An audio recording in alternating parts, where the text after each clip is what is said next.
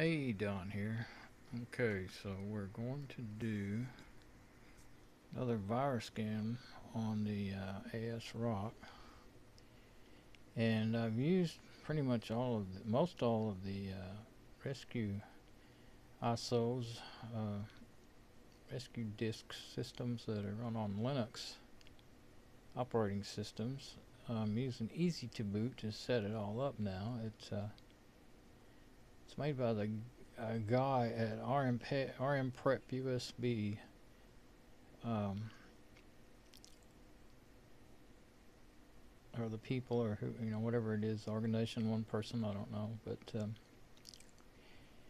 it's uh, pretty cool once you get it set up. Takes a little bit of work, but uh,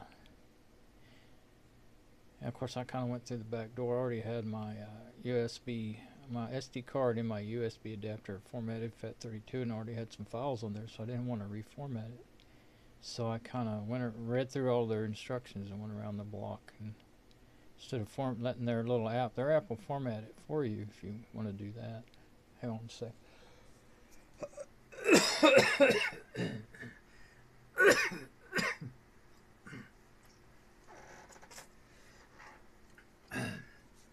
And that's the uh, address down there of the two websites easy2boot.com and rmprepusb.com but um, yeah I'm pretty pleased with it uh, you're able to boot I haven't actually done an install yet, but I, I booted up my Windows 7 uh, install ISOs to see. And I have a Windows 7 system on my it, on my I call it my ASRock because it has an ASRock motherboard. Um, and I scanned it our last time with uh, this is the first vi only virus scanner uh, I have on here is uh, Bitdefender, and I and it it uh, it was a finally came up with no uh, infections or rootkits in the in the system itself. There was uh, after, like I keep saying, I'm just going to say around eight times that I've different ones I've scanned it with. Only reason I keep doing it over and over is, well, of course, it's not. If it doesn't come up clean, then you'd be silly to use it. You know, it's just going to spread again. And uh, so reformatting would have been a lot quicker but I have uh, all these videos off my phones backed up in there and I don't have uh, any place else to put them. I don't have enough space anywhere. So uh, back to the main menu. so what I'm going to try this time, since I've tried all the ones I like, uh, ran all of the virus scanner rescue CDs, USBs, whatever you want to call them. I've been using USB but they, uh, when I st started in all this, you know, USB wasn't even a bootable thing. So, uh, matter of fact, I started in 2005. There wasn't very many machines that would boot to any kind of USB stick back then. So everything was CD and DVDs, you know. So, and that's still kind of what they call them a lot of the times when they talk about them. Call them rescue disc or rescue CD or disc would kind of cover everything, you know. But anyway there's quite a few apps that came with it and then there's some that I put in there and I won't go into each one but uh, just so the video won't be so long but uh, you just copy them over to the right folder and then it finds them and you can boot to them you, you do have to copy them and then you have to run a little app that's kind of a, really a defrag app they call it they say make the files contiguous that's what they say it kind of threw me off for a while I so what are you talking about I knew that word sounded familiar from years past with Windows, but um,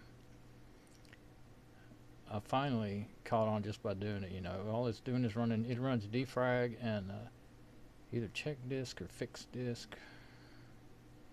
What's the other one? Check disk. Uh, anyway, I don't. I haven't done Windows. I only do Windows kind of just to play with it ever since 2005. I use Linux. It's my main operating system since then, so that's what I have in my head. So, uh, there's Windows installed, there's three present. It doesn't always say what's in there. Like the antivirus, it doesn't say there's one in there, but there is. And Linux, I know I have Fedora 24 in there. I don't know how it decides what to do on that, but uh, let's see. What I want is, okay, Windows install and Windows. There we go. Now these are, and like I, just chose to put these in there, but I have Hiren's boot CD, and ReactOS. And Hiren's has uh, Mini XP, a live XP system. It's uh, really good. It's really good at running the things they already have on there for you. And there's a lot of good tools in there, and there are plenty of virus scanners and stuff in there. But they haven't made a new one since, for three or four years. So basically, since XP, you know, was uh, left behind by Microsoft, and I don't believe you can boot. Uh, I don't know quite sure how he pulled it off, but from what I've read, uh, I don't believe they can boot uh, a live Windows 7 or anything newer. So, um, because of the way they wrote, you know, when Microsoft did it, this system. But uh, and then ReactOS is what they call. Let's see what it says. What do you want to do? It asked me if I want to do something, then it just did something. Okay. Press any key to boot from CD. Whoops. Well, I went ahead and hit enter. I kind of wanted to wait and see what it did, but that's alright. Okay, so it looks like it's booting up. But it, no, it didn't work. Okay, it took me back. May not, this one may not work on here, I don't know. They're not, not all ISOs will boot in here. This may be my first one that won't. Let's see. I'll just not do anything. What? Type quickly. I can't read as fast as you. I'm not going to do anything this time, see what happens. It may just probably just do the same thing and take me back. I don't even know what the question was. I think maybe it's going right back, yeah. Okay, let's go in there again. This time I'll try hitting my arrow keys up or down to try and make it pause. ISO AS key file extension. Yes, no. Okay, to avoid this prompt, I think I got it to stop. To avoid this prompt, do not use the ISO as a file extension. Instead, use ISO default or set no SUG equals so and so so and so. ISO type quickly to use ISO ASCII ask ASO ask. Okay. Some of it's not on the screen. It didn't uh, fit the screen right. Some do that and some don't. Some sometimes you boot it again and the next time it'll work. I don't know. I think um I think I'm gonna say no this time if I can see the keyboard long enough to do it. There we go peeking over the phone. See what happens. Oops, I hit the wrong key. Oh, what's this? I accidentally hit the ne key next to the... Well, it did something. It's like I selected a menu. Well, it's trying this time. I accidentally missed enter and hit uh, key next to it. So I must have somehow made it select one of those options there. Man, it doesn't give you time to read it and figure out what you want to do. Looks like it's going to boot though. But this is, um, notice the uh, SYS files and all that. This is what they, they call it a binary compatible operating system. Binary compatible with Windows uh, operating system. Windows operating, uh, Windows applications. It's um, an open source uh, binary compatible with Windows. I, I, I, there's got they got a certain way they say it um, on their website, but it's been around for quite a few years 10, 12, 15 years that I know of. And uh, I've tried it out. I've got a real, quite a bit older version that it would run, and, but you really couldn't do much on it. And they say I read an article about it not too long ago.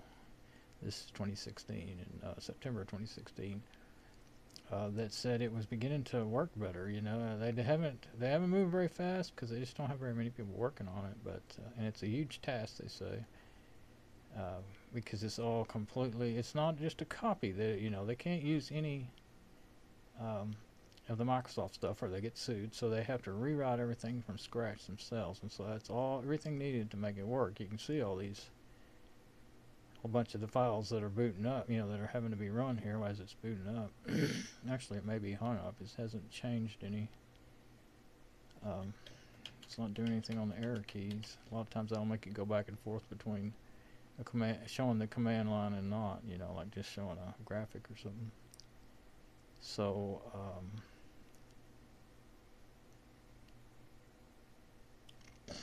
I may, uh, I'm deciding if I should uh, stop the video and then go back and mess with it for a while and figure it out before I make any more video. But uh, anyway, uh, I've played around with it a little bit. It boots up fine on uh, my US regular USB sticks. Let's see, did I have it on a USB? Yeah, I didn't. Buy I don't usually use CDs anymore because I don't want to waste the money, you know, on them, you know, just for trying things out. Oh, I, I booted up in uh, virtual machine. That's what I did. Uh, but it didn't uh, see my network card. Didn't make it didn't make a network connection. It's not a real card, you know, in your virtual machine. It's a virtual network, virtual NIC. So um, it didn't work, uh, so I couldn't uh, do very much, you know. And now this, I, I don't know. This is a fairly new uh, motherboard. I mean, for for something that's basically it's it's got a lot. Like, what I understand, it it's, it's it seems and feels a lot like XP, but I think it's more underneath, more like NT, Windows NT. So it may not work with newer. Uh, this is a gigabit Ethernet in this uh, motherboard built in, you know, and it may not work with that chip. It would probably work with the old Realtek and stuff, I would imagine. Um, of course, if I had the driver to install, I can do that, but uh, I'd have to put it on this USB stick or something, and or this SD card. Actually, I may have that. Yeah, but it's for Windows 7. But uh, anyway, it's not hung up right now. I don't know what option I ended up picking. I can't really making the video. I can't. Uh, I'm holding with my left hand still as I can with the phone, and then working with my right hand, and I can't can't think and move my fingers. It's all that many things at one time. So I think I'll stop the video, see if I can figure out what it takes to get it to boot, and then maybe I'll report back. Okay, bye.